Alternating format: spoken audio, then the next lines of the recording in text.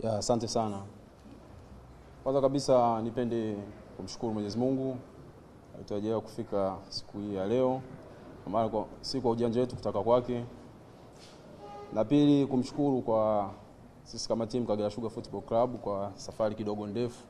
Ni kipande ukiangalia, tumecheza game juzi tarehe saba Geita, takriban siku mbili, jana tarehe tisa za kufika mjini Dar es Salaam, na kitu katika upande wa mchezo mpaka maandalizi yetu ya mwisho jana, squad nzima, kwa maana timu nzima wote vijana wako sawa, moral mudi iko safi, wako tayari kwa mchezo wa kesho. Na kwa taarifa ya daktari niseme timu, wachezaji wote wako safi, hakuna mwenye matatizo yoyote, na tuko tayari kwa mchezo wa kesho dhidi ya Simba, na tunatambua umuhimu huo, tunatambua umuhimu wa, wa gemu hiyo na tunajua ukubwa wa Simba. Simba ni timu kubwa, tunaheshimu, ni timu ambayo kidogo ina ukomavu, kwa maana timu ambayo naweza kutumia lugha nyingine kwamba ishapambana mapambano makubwa, lakini sisi kama Kagera Sugar tumejipanga, tuko tayari na tunatuhitaji katika mchezo huo, inshallah kesho zaidi ya point tatu. Ya, nimesema kwamba kwa hali ya vijana ilivyo na umuhimu wa mchezo na ukiangalia ligi kidogo ilivyo tight na ilivyobana, ni kwamba ni game ambayo inahitaji point, kwa maana kuhitaji matokeo. Na ukiangalia sisi kwa rekodi, ukimtoa Yanga, timu inaongoza kwa rekodi nzuri kwa mechi za ugenini ni Kagera Sugar. Kwa hiyo niseme tu kwamba ndio nakwambia, kwa hali ya vijana morali, hakuwa tunachohitaji zaidi ya pointi tatu katika hiyo ya kesho inshallah.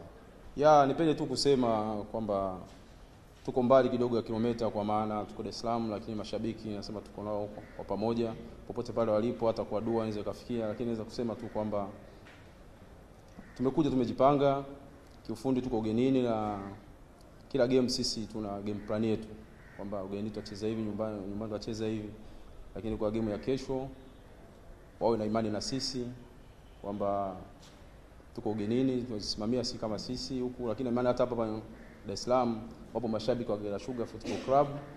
Kesho waje washangilie timu yao ambayo nasema niseme tu kwamba ina mwendelezo mzuri kwa mechi za ugenini na nyumbani, na ukiangalia hata rekodi ya hizi mechi kama nne tano hivi tulifuruza kukiwa na matokeo mazuri, isipokuwa game moja tu ya juzi ya Geita ambayo haikwenda sawa, lakini si swala nilionalo, tuna kauli mbiu yetu kwamba kwa maana ni mwendelezo, tuna mwendelezo wa kutoka sehemu moja kwenda sehemu nyingine, kwamba kwa sababu tuna malengo. Katika msimu huu, kuna malengo tumejiwekea ya kucheza mashindano ya kimataifa. Kwa hiyo huwezi kufika kule kwenye mashindano ya kimataifa bila kupata pointi katika, na kupata kwake pointi katika mechi hizi ambazo zinakuwa mbele yako.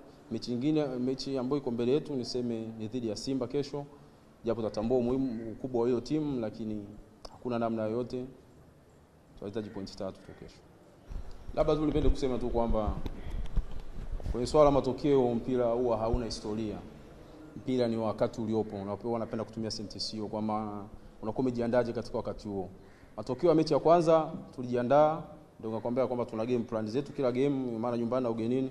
Mechi ya kwanza tulijiandaa, tunajua maandalizi tuliyofanya, tukapata ushindi. Kwa hiyo na game hii tutaingia, kuna mipango tumefanya, kwa maana kuna maandalizi mazuri tuliyofanya, na ndio maana nikakwambia kwa hali ya vijana mpaka leo asubuhi ukiwaona ni kwamba itakuwa ni swala tu la mwendelezo, kwamba pale tulipoishia inawezekana tukasogea tuka tukaendeleza pale pale kwa pale tulipokuwa tumeishia katika mchezo dhidi ya Simba Sports Club. Yeah. Nipende kusema tu kwamba unajua siku zote ukiwa unacheza na adui wakati mwingine usimpe mbinu. Na hii ni game haijachezeka. Ndio maana nikakwambia tunayo game plan. Kama ulifuatia mchezo wetu wa kwanza tu, utakuwa uliona tulicheza vipi. Kwa hiyo na kesho kuna stage nyingine tutakoingia nayo. Ndio maana nikakwambia ugenini tuna stage ya kucheza ugenini, tuna stage ya kucheza nyumbani. Wewe kesho tu njoo kama shabiki ushuhudie pale. Utapata kitu fulani mara kwa mara kutaka kujifunza zaidi. Lakini siweke wa- wazi mbinu kwa sababu si unajua wanacheza uma boa pisada.